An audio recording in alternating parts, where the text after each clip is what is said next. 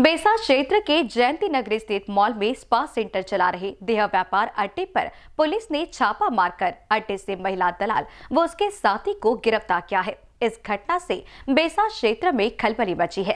अपराध शाखा पुलिस विभाग की यूनिट चार द्वारा की गई। देह व्यापार अड्डे पर छापा कार्रवाई में दिख रहे ये वही आरोपी है जो पिछले कई दिनों से स्पा सेंटर में करीब डेढ़ साल से मॉल में देह व्यापार का कारोबार चला रहे थे।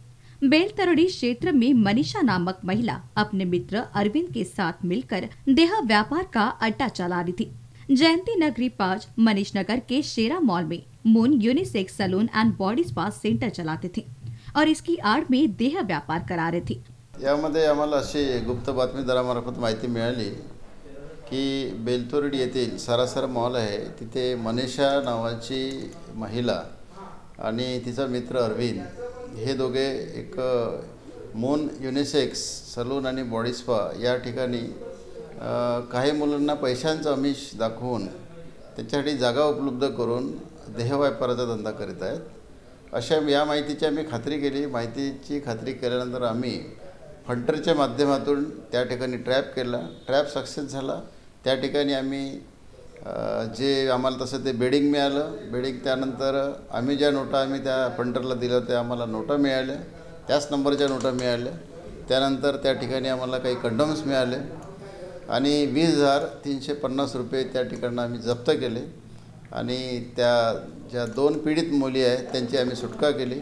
त्यानंतर मनीषा नावाची जी महिला आहे जी ओनर आहे त्या बॉडी स्पाची तिला आणि अरविंदला ताब्यात घेऊन त्या दोघांना अटक केली. त्यांच्यावर पिटाटप्रमाणे कारवाई केलेली आहे. या अगोदरसुद्धा या ठिकाणी आपले पोलीस गेली होती रेडला की या माहितीवरून परंतु ते रेड काय सक्सेस झाले नाही.